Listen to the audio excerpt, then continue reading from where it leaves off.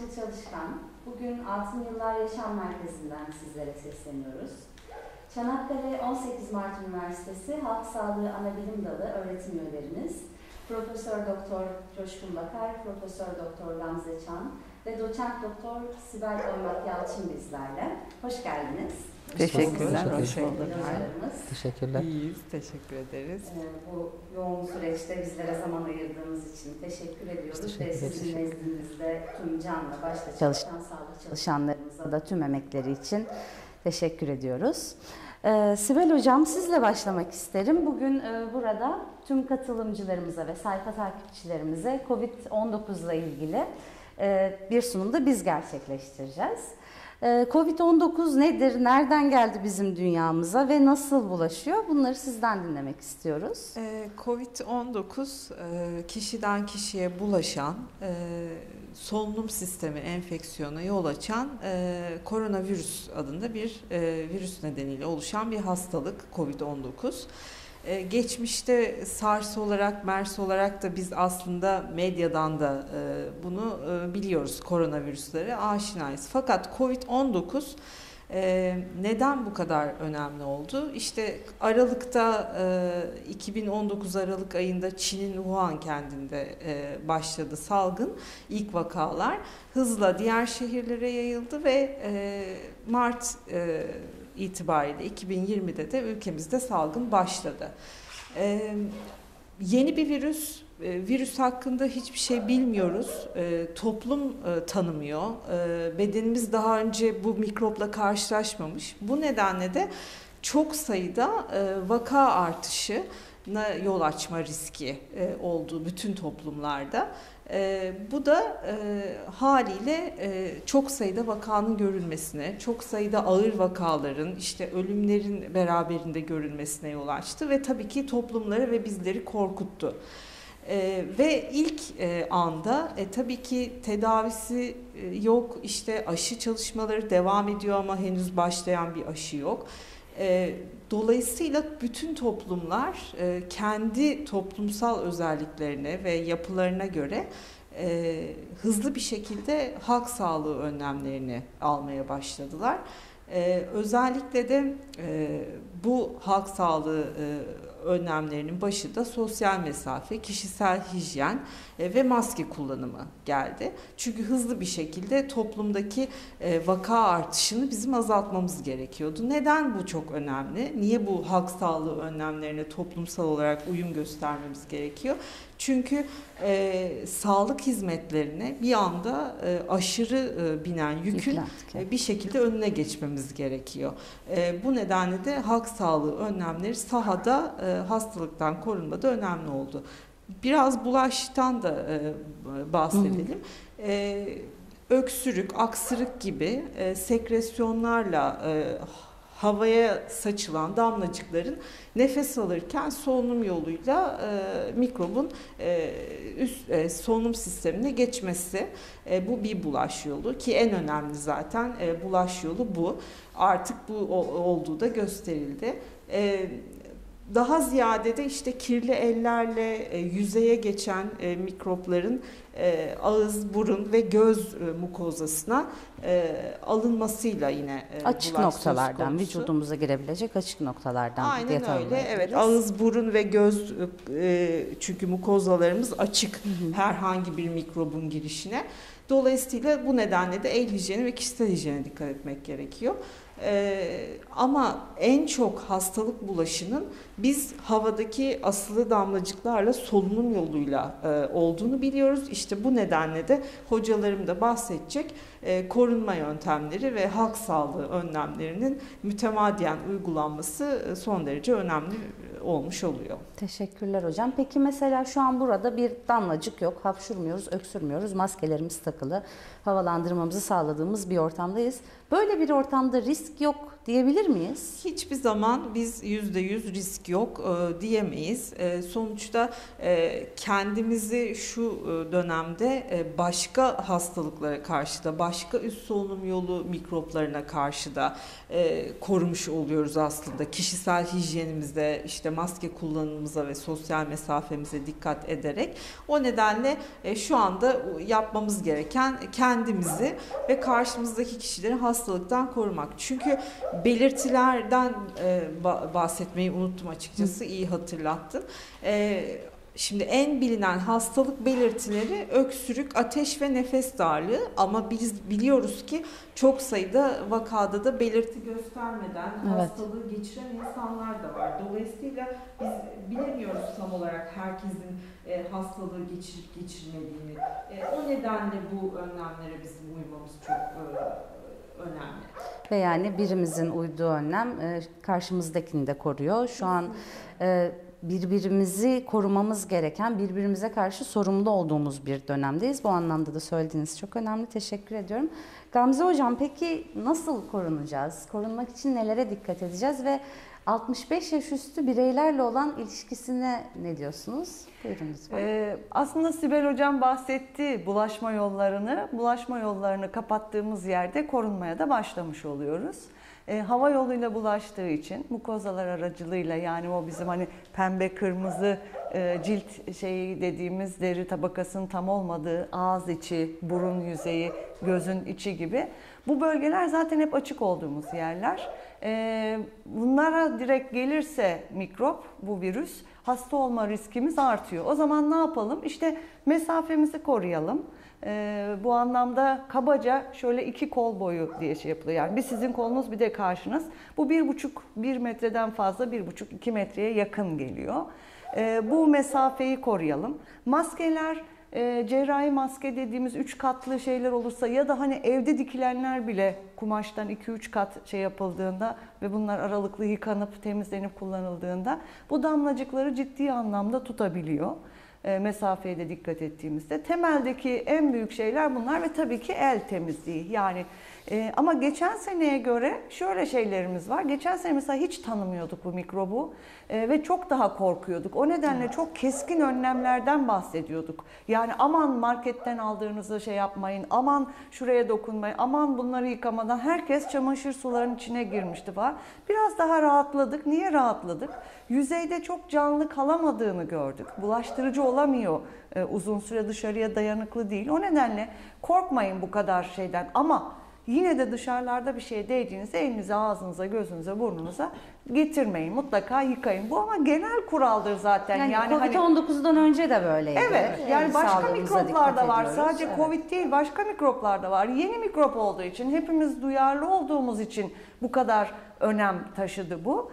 Ee, onun için işte hani o klasik maske, mesafe ve hijyen şeyi çok önemli. Ee, havada asılı kalması çok uzun süre değil. Onun için odaların havalandırılması, şu aralıklı oturmamız işte bakın Coşkun Hoca ile şu anda iki evet. kol mesafesindeyiz. Hepimiz maskeliyiz, camımız açık. Bunlar bu anlamda oldukça koruyucu ama e, Sibel Hoca da vurguladı. Semptom olmayan kişiler olabilir. Süre uzadıkça riskimiz artıyor. Yani kısa süreli mesafeyi koyarak ve maskeli kısa süreli nasılsın, iyi misin e, gibi birkaç dakikalık konuşmalar risk oluşturmaz. Süre uzadıkça risk artıyor. Maske çıktıkça risk artıyor. Yakınlaştıkça risk artıyor. Bu yani anlamda. Kapalı alanlarda daha planlı kapalı hareket alanlar, etmek tabii, durumundayız. Tabii, tabii, tabii. Zaten hep vurgulanan keyfi görüşmeleri, buluşmaları evet, yapmayacağız. Evet. Yapmak zorunda olduğumuz buluşmaları yapmamız gerekecek kapalı ortamlarda. Evet. Bunun da altını bir kez daha çizmiş olalım böylelikle. Kesinlikle. Bir de şey e, hani genel kanımız hani yakınlarımız, sevdiklerimiz bize böyle bir kötülük yapmaz gibi düşünüyoruz ama o benim oğlum ama o benim kızım ama semptom göstermeyen kişiler de olabilir mikrobu taşıyan. O nedenle hepimiz birbirimize karşı e, korumalı ve dikkat etmeliyiz bu anlamda. Ee, ve özellikle de işte bizim grubumuz yani 65 yaş üstü büyüklerimiz diye ifade edeyim evet. ben sizde e, uygun görürseniz. Evet. Büyüklerimizin hassasiyeti var. Niye özel? Bu grup incinebilir, daha duyarlı bu mikroba karşı. Hasta oldukları zaman genellikle başka hastalıkları da olduğu için çünkü büyüklerimizin genellikle en az bir hatta birkaç tane hastalığı var. Tansiyonu var, şeker hastalığı var, e, onun yanı sıra başka şeyleri var, şikayetleri var. Bunlar olduğu zaman bu enfeksiyon daha kötü gidebiliyor, daha riskli olabiliyor. Aslında 65 yaş üzerine biz büyüklerimizi incinebilir olduğu için korumaya çalışıyoruz. Başta mesela çok yanlış anlaşıldı. Sanki onlar tehlikeliymiş gibi dışarı çıkan e, yaşlılar yani evlerde korunmaya alınmak istediler ama dışarı çıkanlar sanki bulaştırıyor gibi hırpalandılar. Hayır aslında bu yaş grubunu korumak istiyoruz biz. Onlar bizim daha hassas grubumuzu oluşturuyor. E, o nedenle şey önemli. E, ama şimdi biraz sonra Coşkun Hoca da bahsedecektir. Bu yaş grubunun e, hani korunmaya çalışırken de dikkat edilmesi gereken noktaları var. Onlara da özen göstermemiz lazım. Evet yani aslında e, bizim gözlemlediğimiz 65 yaş üstü kadar kurallara riayet eden Evet, bir toplumun evet. kesimi yok. Evet. Buraya bazen uzaktan yaşlılarımız geliyor. O mesafeyi fazlasıyla Çok. koruyorlar. E, Maskelerini kesinlikle çenelerinin altına indirmiyorlar ve hani e, en başından beri kısıtlanan da hep onlar Evet, oldu. evet. En fazla uygulama hep onlara geldi. E, o yüzden onların yaşamış olduğu bu psikolojik şeyi gidermemiz gerekiyor. Durumu Kesinlikle. gidermemiz gerekiyor. İnşallah güzel günler hepimiz için yakında olacak. Peki hocam ben şunu da merak ediyorum. 65 yaş üstü daha çok kronik hastalıkların görünüyor olduğu grup olduğu için mi? Evet, evet. Yani kronik hastalığı hiç olmayan bir 65 yaş üstü bireyden söz edersek e, daha düşük yaş gruplarındaki riskle aynı riske mi sahip aslında? Kabaca söyleyebiliriz ama şeyi e, bir kere şöyle bir şey. Bu hastalıkla ilgili kimin nasıl tepki vereceğini tam bilemiyoruz. Çok genç yaşta oluyor ama bir bakıyorsunuz yoğun bakımlık oluyor. 80-90 yaşında kişiler bakıyorsunuz hiç yoğun bakıma girmeden taburcu olup gidebiliyor. Düğünlerde gezen bir teyzemiz vardı ya hani şey yapan. Yani bu çok belli olmuyor ama e, şeyler göstermiş ki bütün dünyanın deneyimleri e, ileri yaştakiler maalesef daha risk altında oluyor, daha ağır seyrediyor, e, ölümcüllük daha artıyor. Ama şimdi mesela bizi umutlandıran güzel gelişmeler var. Bir yıl içerisinde çok hızlı bir gelişme, aşı çalışmaları var. E, aşıyla ilgili önemli gelişmeler var. Ee, şu anda tam belki ki, tam buna yönelik bir tedavi e, tespit edilmiş değil ama aşıyla ilgili oldukça başarılı şeyler var. Ve aynı zamanda Evet. ilaçla ilgili de çalışma İlaçla haberleri de ilgili çalışmalar var. Tam onlar hani bu kadar e, aşı kadar şey Tabii. değil ama aşılar artık kapımıza kadar geldi. Bunlarla ilgili de mesela hiç kaygı ve şey olmasın. E, kafalarda soru işareti oluyor. Korunmadaki önemli şeylerden bir tanesi. E, iki çeşit aşı var diyeyim kabaca. Çin aşısı diye geçen aslında bizim bildiğimiz klasik yıllardır şey yaptığımız nezle grip için kullandığımız aşı teknolojisi. Hani Çin malı gibi bir imaj yaratmasın. Öyle bir şey değil. Çok güvenilir, bilinen yöntemlerle edilir. Klasik bir aşı. O nedenle e, hani Çin aşısı falan filan gibi bir şey yapmadan eğer ulaşma imkanı olursa ülkedeki şeylere ki sağlanmaya çalışılıyor sağlıkçılar ve 65 yaş üzeri diye aşı olmaktan hiç çekinmemek lazım. Şu andaki elimizde en güçlü silah o. Çünkü diğer türlü sürekli maske mesafeyle hep kaçmak zorunda kalacağız. E, toplumda belli bir oranı aşılayabilirsek artık normal grip gibi, mevsimsel grip gibi yıllık olarak e, şey değişiklik gösterebilir mikrop. Buna yönelik şey ihtiyaç olabilir ama ana hatlarıyla büyük bir kısmımız bunu tanıdığı için bu kadar büyük patlamalar yapmayacak. Yani bir senedir hayatımız durdu. Okullar kapalı, hiçbir yere gitmiyoruz. E, bütün hayatımız sınırlandı. Ama en azından toplum bunu tanıdıkça belli bir oranda buna karşı bağışıklık oluştukça daha rahat hareket edebilir hale geleceğiz. Teşekkür ediyorum hocam. Sağ olun. Ee, Coşkun hocam peki bu süreçte 65 yaş üzerinin yaşadığı zorluklar oldu. Dışarı çıkamadılar, hareketsiz kaldılar. Ee, az önce de bahsettik. Kronik ha- rahatsızlıklara en fazla sahip olan yaş grubu ve hastanelere gidemediler. Bu kadar insan eve girdi. Ne oldu? Ne yapmalılar? Ee, buradaki bu çıkmazı nasıl değerlendirirsiniz? Evet teşekkür ederim öncelikle bu fırsatı verdiğiniz için. Biz teşekkür Ee, ederiz. Altın Yıllar Yaşam Merkezi bizim için çok önemli bir merkez. Ee, kuruluşundan itibaren burada olduğumuz ve e, 65 yaş üzeri büyüklerimizle sürekli temas halinde olduğumuz merkez. Ee, ne yazık ki bu salgın nedeniyle Evet. bir süredir e, burası İlk kez bu kadar uzak kaldık Evet sizlerle ve de. onları özledik işin açıkçası. Evet. Ee, ama bunun bir sebebi var. Ee, Gamze Hocam da bahsetti. Ee, hastalık ilk çıktığında yani Covid-19 ilk salgın ortaya çıktığında e, büyük bir kısmı 65 yaş üzeri ve ölümlerin büyük bir kısmı 65 yaş üzeriydi. Bu bizi çok tedirgin etti ve büyüklerimize çok özendiğimiz için benim annem babam da o yaş grubunda ve onların üzerine titrediğimiz için onları koruma altına aldık. Bir bakıma aslında hastalıktan onları sakladık. Evet. Yani hastalık onları bulmasın istedik. Çünkü onları bulduğu zaman çok acımasız davranabiliyordu. E, Onları korumaya çalıştık. Nitekim iyi sonuçlar da aldık. Yani doğru doğru bir uygulama yapıldı Doğru aslında orada. yaptık. Ee, ancak şu da e, diğer yaş gruplarına iletmek açısından söyleyeyim. Diğer yaş gruplarını bulmuyor değil. Hatta Çanakkale özelinde vakaların yarısından fazlası özellikle Eylül ayından itibaren 25-64 yaş grubunda. Ve onların içerisinde ağır vakalar ve hatta ölümler de görülüyor. Yani çünkü şöyle de bir algı oluştu.